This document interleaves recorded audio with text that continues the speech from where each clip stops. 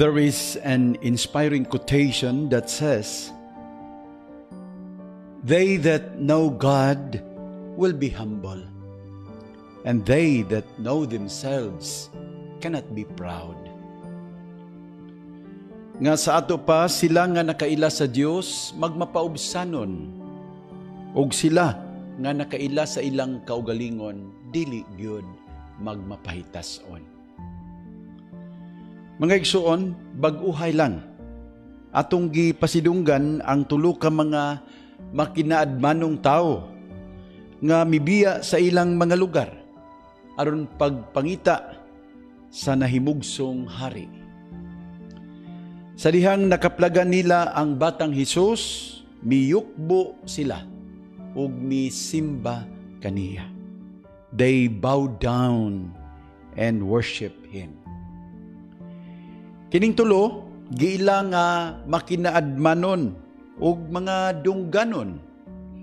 Pero giila usab nila nga adunay Dios nga labaw pa kaayo kadungganon ug kamakinaadmanon kay kanila. Ug busa nagmapaubsanon sila nga miyukbo ug misimba sa batang Jesus. You can read that in the Gospel of Matthew chapter 2 verse 11. Karong adlaw ang ebanghelyo from the Gospel of Saint Luke chapter 5 verses 12 to 16 nagsaysay sa usa ka tawo nga wala nay dungog atubangan sa iyang katawhan. Gani giisip pa siya nga kinahugawan ug wala nay magpaduol kaniya. Sa iyang pagkakita ni Jesus, mihapa siya sa iyang atubangan ug nagpakiluoy sa pag-ingon, Lord, if you wish, you can make me clean. Ginoo, kung buton mo, mahimo mo ang pag-ayo kanako. Mga igsuon, kining maong tao, nakaila sa iyang kaugalingon. Ug nasayod siya sa iyang kahimtang. Kaluoy ra sa Dios maoy paglaom niya. Maoray makaluwas niya. Busa, mihapa siya, wala lang miyukbo, mihapa, ug nagpakiluoy kang Hesus. Ug si Jesus mihikap kaniya ug miingon, buot ko, mamaayo ka. Ug matud pa, diha-diha dayon ang tao na maayo. Mga igsuon, ato na sayran, ang balaod sa mga Hudiyo nagdili sa sanlahon, nga muduol ni bisan kinsa. Ug samang balaod, ang nagdili ni bisan kinsa sa pagduol sa sanlahon. And this is the remarkable thing.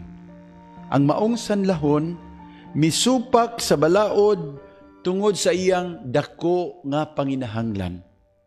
Si Jesus, misupak sa balaod tungod sa iyang dakong gugma. Walay hugaw na dili hikapon ni Jesus aron lang sa pagluwas ug tao. Mga igsuon, kining ebanghelyo nagtudlo kanato nga magpabiling mapaubsanon. Kada adlaw atong ilhon ang gahom sa Dios pinaagi sa pagyukbo o paghapa sa iyang atubangan diha sa pagampo. Ug dugang paniana gitudluan kita sa pagsusi sa kaugalingon matag adlaw kun unsa nga matang sa sakit ang anaa kanato ug gusto nato nga ayuhon sa Dios. Kadaghanan nato wala may sangla o sakit sa lawas nga grabe.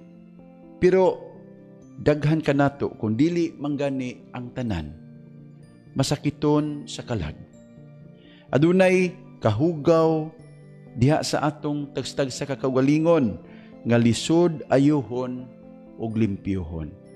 Sama sa sanlahon, angay kita nga mga liyupo sa Dios diya sa pagampo. Lord, if you wish, you can make me clean. Ang Dios walay laing gitinguha kundili ang atong kaayuhan. ang atong kaluwasan. Busa, kung kita magmapaubsanon lamang nga mudangup kaniya sa pagampo, iya gayud kitang ayuhon ug limpyuhan. And so we always remember this. They that know God will be humble, and they that know themselves cannot be proud.